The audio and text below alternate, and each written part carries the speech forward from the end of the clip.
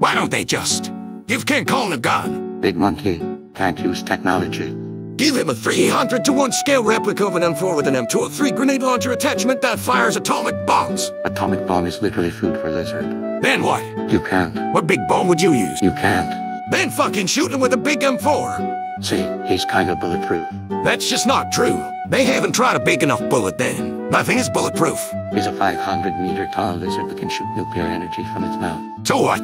Doesn't stop a full metal jacket round from piercing him. Okay, Literally just fucking shoot him. That's what I'm saying. Use a scaled up 50 BMG for all I care. the only thing that got close to killing him was a space god or a bomb that absorbs oxygen in a 500 mile radius. He's just a big lizard. They aren't trying hard enough. Why are they just sending a big monkey? Monkey is equivalent power. This clearly proves that primates can wield firearms. What's so special about Mr. Big Monkey Man? Huh? He's smart. Are you gonna tell me that it can't be shot either? He's been shown shot.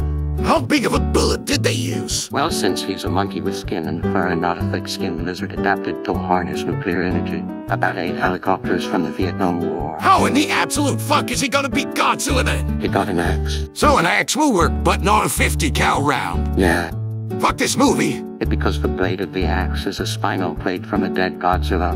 So, better idea. Make a bullet out of that. Then shoot it at him.